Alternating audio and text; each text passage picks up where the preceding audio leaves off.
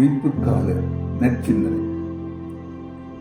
அன்பு நெஞ்சங்களே ஆண்டவர் இயேசுவின் உயிர்த்தெழுதலை தியானித்துக் கொண்டிருக்கும் நாங்கள் இயேசுனுடைய மனப்பான்மையிலே இயேசுவோடு சேர்ந்து வாழவே அழைக்கப்படுகின்றோம்.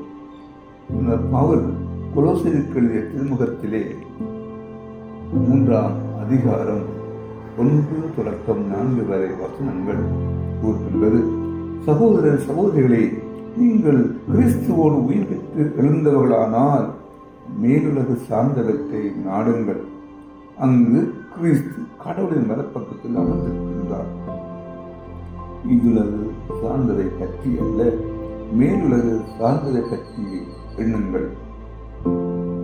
ஏனெனில் நீங்கள் கிறிஸ்துவோடு இறந்து விட்டீர்கள் உங்கள் வாழ்வு அவரோடு இணைந்து கடவுளில் மறைந்திருக்கிறது. கிறிஸ்துவே உங்களுக்கு வாழ்வு அளிப்பவர். அவர் தோன்றும் பொழுது நீங்களும் அவரோடு மாற்றி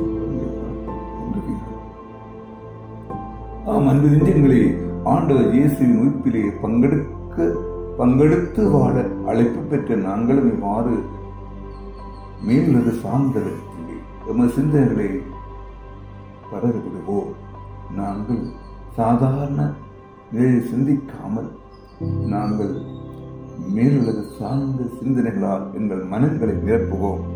நாங்கள் நாளாந்தம் இவ்வாறு இயேசுனுடைய மாற்றினையை பெற்றுக்கொள்வதற்கு ஏற்புடைய மக்களாக எங்களை மாற்றிக்கொள்வதற்கு உயிர்த்தெழுந்த ஆண்டவர் இயேசு தொடர்ந்து எங்களை உயிர்ப்பின் சாட்சிகளாய் திகழ அழைப்பதை உள்ளூர உணர்ந்தவளாய் இதவும் பகலும்.